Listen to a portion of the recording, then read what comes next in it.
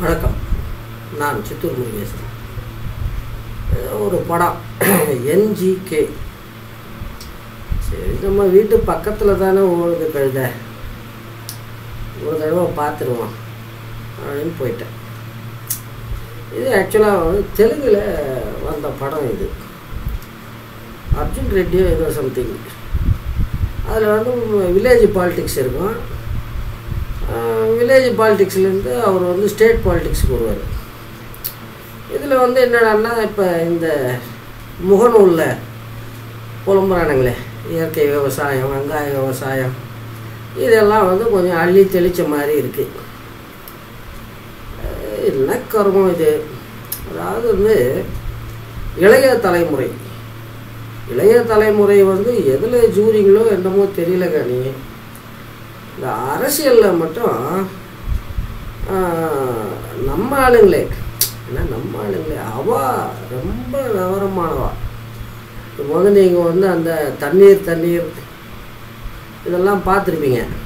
அதாவது வந்து அரசாங்கம் அது எதுக்கும் உதவாது. எம்எல்ஏ வெட்டி பையன் அதே போல் இந்த மந்திரிங்க எல்லாம் கொள்ளடிக்கிறவன் அவ்வளோதான் அதாவது அவளுக்கு வைப்பு ஊத்தரிசல் சூத்திரமாவன்லாம் வந்துடானே நம்மளால் வர முடியலையே. அப்படி. அதுக்கு அவங்க வந்து இப்போ வந்து பெரியார் சொல்லுவார். நீ ஏன் கோயிலுக்குள்ளே எல்லாரையும் விடணுங்கிற? எல்லா ஜாதிக்காரனையும் ஏன் பூஜாரி ஆக்கணுங்கிற? அப்படின்னு கேட்டால் அதுக்கு பெரியார் சொல்கிறார் இது சாத்தியமாயிட்டா? பாப்பானே சொல்லிடுவான் கோயில் உள்ள இருக்கிறது சாமியே இல்லைன்னு. அப்படித்தான் இதெல்லாம். அதாவது வந்து அவா போலோச்சும் வரை அதெல்லாம் வந்து ரொம்ப புனிதமானது.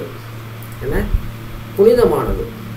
இப்போ அவளுக்கு இடம் இல்லைன்னு வைங்க. அது கெட்டு போச்சு. என்ன? அது கெட்டு போச்சு. நீங்கள் நல்லா யோசிச்சு பாருங்க. ராஜகோபால் ஆச்சாரியார் ஸ்ரீமான் ஸ்ரீனிவாச ஐயங்கார் இவாள்லாம் இருக்கும்போது அரசியலுங்கிறது நாட்டுக்கு சேவை. சூத்திர பயலுவ வந்துட்டோம்னு வைங்க. உடனே அது வந்து நாஸ்தி. இது வந்து பார்ப்பன சதி.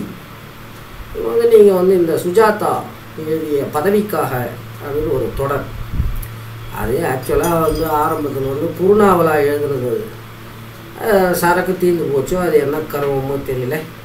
அதை வந்து அப்படியே ஜாங்கு மாதிரி இழுத்து ஒரு தொடர் எழுதினார். அதை வந்து மானங்கட்டு போய் குங்குமங்காரன் சீரியலாக போட்டான். இத்தனைக்கும் அந்த காலகட்டத்தில் வந்து கலைஞர் வந்து பராசக்தி பதில்கள் அப்படின்னு பதில் சொல்லிகிட்டு இருந்தார். வாசகர் கேள்விகளுக்கு அதான் நாம் பண்ணுற தப்பு அதான்.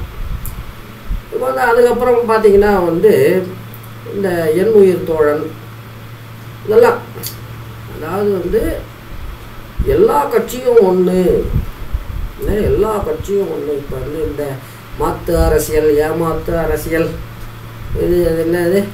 மக்கள் நீதி மையம் நோம் டம்ளர்ஸ் இதெல்லாம் ரஜினியின் புதிய கட்சி. இவங்களுக்கு வந்து இடம் பண்ணுறது என்ன இடம் பண்ணுறது எல்லாம் ஒன்று தான் அந்த மாதிரி. இப்போ அதில் வந்து நம்ம ஆளுகளே வந்து பலிகடாயிரம் இப்போ சுஜாதாலாம் வந்து ரொம்ப மோசமாக எழுதியிருப்பார். ஏன்னா ரொம்ப மோசமாக எழுதியிருப்பார். அதை அதை வந்து படித்து தான் பப்ளிஷ் பண்ணானுங்களா? இல்லை சுஜாதா அப்படிங்கிற பிம்பம் கண்ணை மறைச்சிருச்சா? தெரியாது. சரி ஓய்வு போட்டேன். கதைக்கு வருவோம் இவர் வந்து என்னமோ வந்து உரம் இல்லாமல் அப்புறம் அது என்னது? பூச்சி மருந்து இல்லாமல் விவசாயம் பண்ண வைக்கிறேன். அப்படின்னு இவர் வந்து ஷோல்டர் தூக்கிக்கிட்டு திரிகிறாரு இதெல்லாம் வந்து என்னடான்னா இந்த பார்க்காமலே காதல் பேசாமலே காதல் இந்த ரேஞ்சு சரி இருக்கிட்டான். இப்போ இது வந்து என்னடான்னா அந்த பூச்சி மருந்து விற்கிறவன் இவன்லாம் வந்து ஒரு லாபியாக உருவாகி ரவுடிகளை வச்சு எல்லாத்தையும் அடித்து தூள் பண்ணிடுறாங்க. உடனே இவர் வந்து எம்எல்ஏ கிட்ட போய் உதவி கேட்குறாரு. இதுவாச்சும் பரவாயில்ல. அதுக்கு முந்தி ஒரு சீன் வருது. என்னன்னா பேரட்டு சர்வீஸில் இருக்கும்போது செத்து போயிருப்பாங்க. அந்த வேலையை கேட்டு கலெக்டர் ஆஃபீஸ் முன்னே ஏதோ உள்ளிருப்பு போராட்டமும் ஏதோ அது இவர் போய் விசாரிக்கிறாரு. விசாரித்தா இவர் போனதும் தூக்கி வெளியே போட்டுறாங்க. உடனே இவருடைய ஃப்ரெண்டு ஒருத்தர் வருவார். அவர் வந்து இதெல்லாம் கவுன்சிலர் ரேஞ்சு தான். ஏன்னா கவுன்சிலர் ரேஞ்சு நான் கவுன்சிலருக்கு ஃபோன் பண்ணுறேன்னு உடனே உள்ளே இருந்து ஆள் வரும். யாருப்பா அது என்ஜிகே உடனே வா ஆர்டரை வாங்கிட்டு போகணும் இது இவங்களுக்கு வந்து அதாவது இந்த டைரக்டராக இருக்கட்டும் கருவம் முடித்தவனுங்க இவர்களுடைய புரிதல் இவ்வளோ தான் அதாவது இந்த கருணை அடிப்படையில் வேலை அப்படிங்கிறது வந்து என்னடான்னா அன்ப்ரொடக்டிவ் அரசாங்கத்தை பொறுத்த வரைக்கும் அவங்க வந்து ஃபைனான்ஸ் டிபார்ட்மெண்ட்டில் கிளியரன்ஸ் வாங்கணும். இல்லை கிளியரன்ஸ் வாங்கணும். இப்போ வந்து இந்த அஞ்சு லட்சம் பத்து லட்சம் கொடுக்குற மாதிரிங்க இதெல்லாம் பரவாயில்ல கண்டிஞ்சன்ஸில் போயிடும். இந்த மாத சம்பளம் இதெல்லாம் வந்து ஃபைனான்ஸ் டிபார்ட்மெண்ட்டில் கிளியரன்ஸ் வரணும். சட்டியில் இருந்தால் தானே அகப்பையில் வரும். அது வந்து ஒரு பாலிசி டெசிஷன் என்னது? பாலிசி டெசிஷன் வேலைக்கு ஆள் எடுக்கக்கூடாது. அதை கவுன்சிலர் சொன்னதும் மாற்றிடுறாங்களாம் என்ன மாதிரி அரசியல் ஞானம்டா சாமி. சரி இது ஒரு பக்கம்.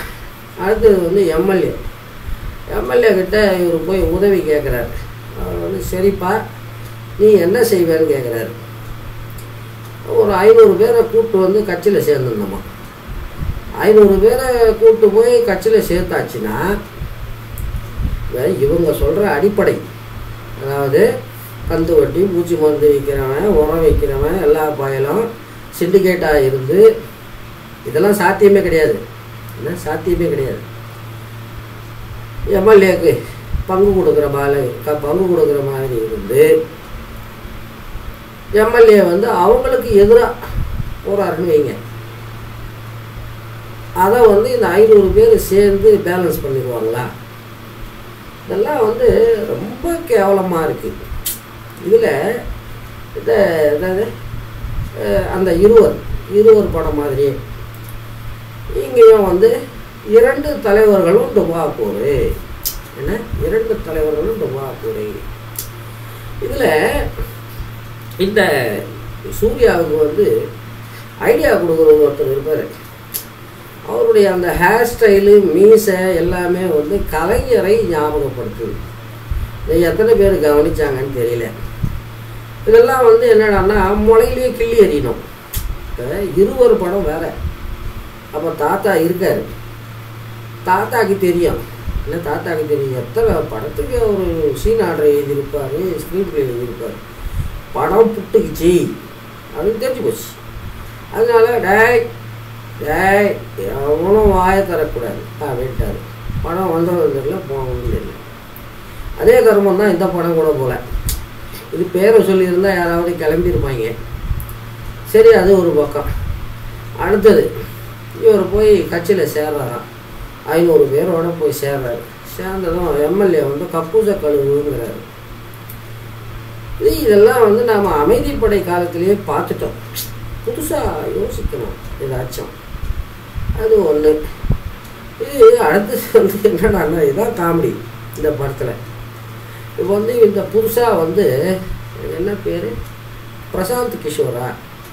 ஆ என்னவோ பேர் சொல்கிறாங்க இவங்க தான் வந்து கட்சிகளை ஜெயிக்க வைக்கிறாங்களாம். என்ன? கட்சிகளை ஜெயிக்க வைக்கிறாங்களாம். மோடியை இவங்க தான் ஜெயிக்க வச்சாராம். அந்த ஒரு அடிப்படையில் இதில் ஒரு பொம்பளை கேரக்டர் வருது அது வந்து சூர்யாவுக்கு சொல்லி விட்டுச்சான் சூர்யாவுக்கு சொல்லி விட்டு சூர்யாவை வந்து நச்சு நச்சு நச்சுன்னு குத்துறாங்களாம் கத்தியில். அதுவும் கருமம் குத்துறதுக்கு ஆளை அனுப்பிட்டு அது என்ன பஸ்ஸு உள்வா பஸ்ஸா அந்த பஸ்ஸுக்குள்ளவே உட்காந்து டிஸ்கஸ் பண்ணிக்கிட்டு இருக்கிறாங்களாம். போட்டாங்களே இதெல்லாம் வந்து சரி இருட்டான் போட்டான். இதில் வந்து இதில் ஒரு காமெடி என்னடான்னா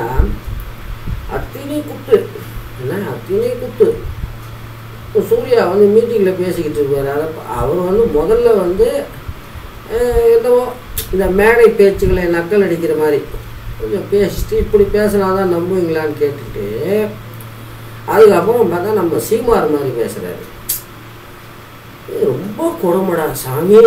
ஐயோ இப்போ எப்போவுமே வந்து என்னடான்னா ஒரு இந்த சினிமா சினிமாவுக்குன்னு ஒரு ஏதோ ஒரு இலக்கணம் வகுத்து வச்சுருக்காங்க.